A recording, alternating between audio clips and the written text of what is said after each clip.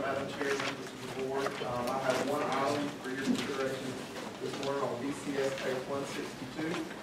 Staff recommends the governing board authorize the executive director to renew the contract with the Florida Department of Agriculture and Consumer Services to co-fund six Suwannee River partnership positions for an amount not to exceed hundred and forty-seven thousand dollars.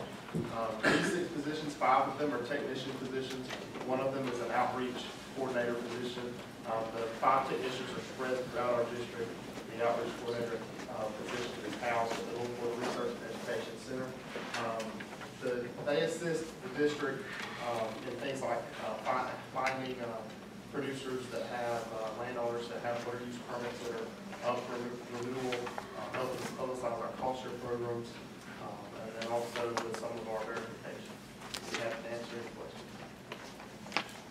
Questions from the board? Donation, I'll make a motion to approve. Second. Motion and second, all in favor, say aye. Aye. Those opposed, like sign.